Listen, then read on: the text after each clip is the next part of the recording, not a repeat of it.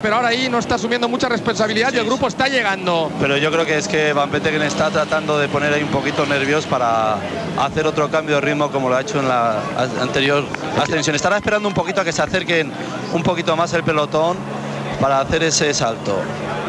Hemos visto a los alemanes, a una Alemania que se apartaba. La verdad es que hay que tener una sangre fría en este deporte.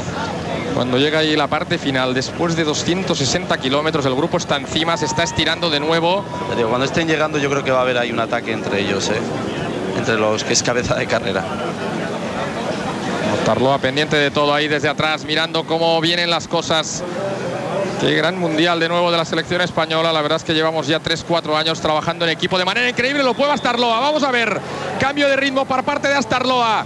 Lo está probando el corredor del conjunto de la selección española. Bettini que reacciona. Ha salido con mucha fuerza Astarloa ahí. Vamos a ver si Bettini puede llevar también al resto de corredores hasta el corredor de Hermoa. Está aguantando el hueco ahí, ¿eh? Sí, ahí es importante aguantar, ¿no? Es un poquito el, que Bettini lleva gente a rueda y, ahí dependerá un poquito las fuerzas del italiano que a lo mejor le está dejando una distancia prudencial o simplemente como vaya al límite, como es lógico en estas alturas de carrera, el llevar a gente a tu rueda te supone un freno. Está haciendo ¿eh? hueco, ¿eh? Cuidado que está haciendo hueco a Starloa. Vamos a ver, jugando por el oro.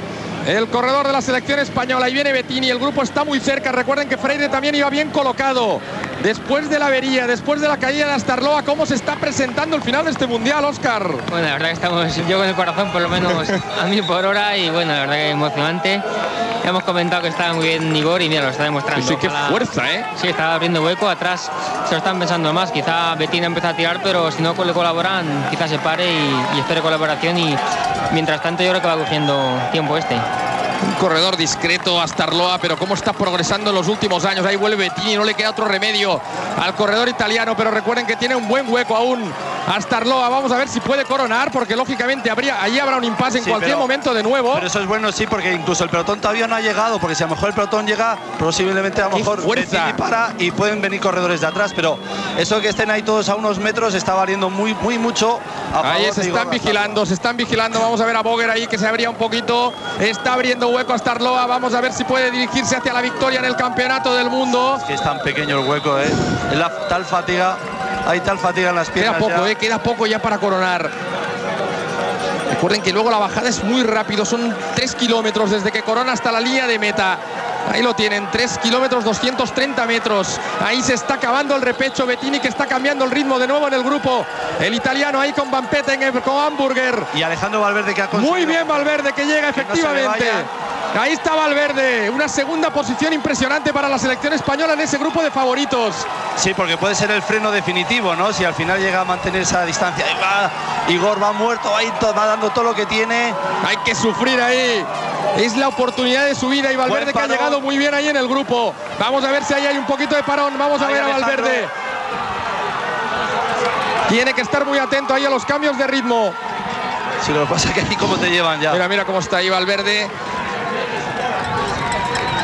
Qué final de mundial está ahí cerquita Starloa. Vamos a ver si puede. Ahí se está acabando el repecho. Ahí se está acabando ya el repecho. Ahora le queda prácticamente tan solo girar hacia la izquierda. Yo creo que es un...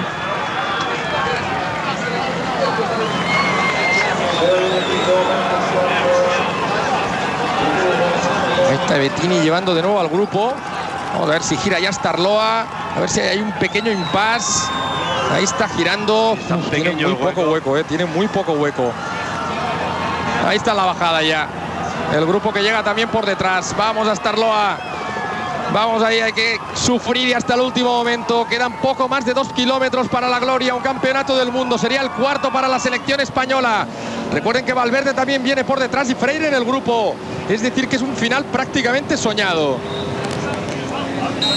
Caída, caída de. Sí, indican una caída de Axel Merckx. Ahí se está dejando llevar el grupo ahora. Lógicamente Valverde ahí tranquilo. Tiene una muy buena colocación también Alejandro Valverde. Mejor imposible para ganar este campeonato del mundo para la selección española. Sí, llega, dice Oscar que llega. Yo es que después de visto ayer, de Johnny Longo, ayer me sorprendió muchísimo y me da pie a pensar de que parece que tiene hueco y tiene, ¿eh? tiene hueco para llegar. Yo creo que sí, pero vamos Igor. Se puede ganar este campeonato del mundo.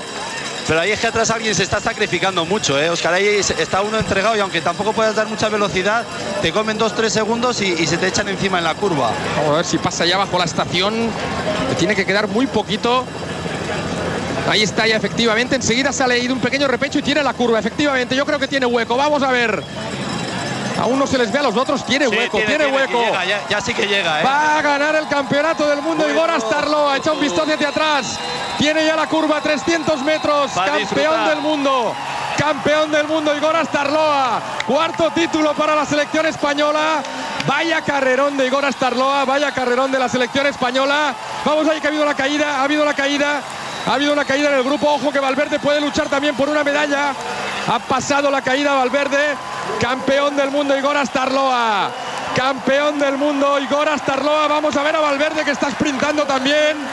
Vamos a ver a Alejandro Valverde que se abre a la izquierda. se abre a la izquierda Valverde. Medalla de plata. Medalla de plata.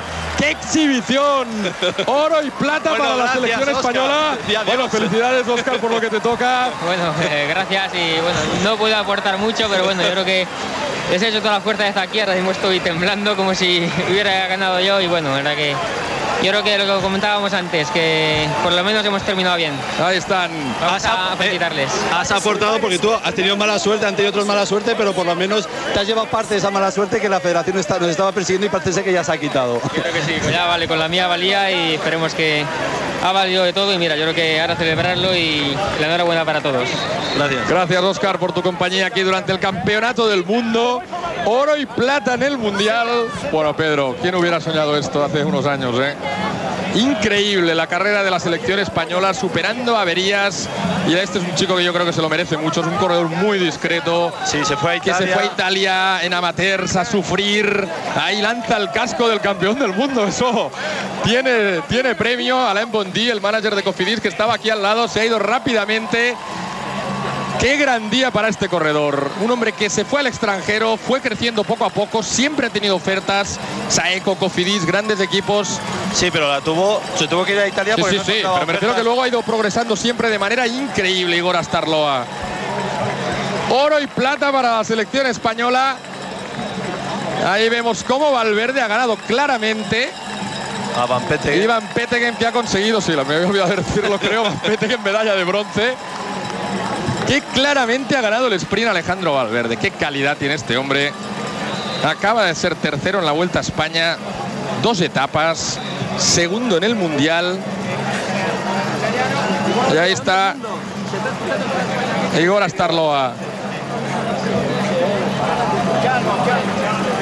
Está emocionadísimo Igor. Vamos a ver si le llevan ya hacia el podium.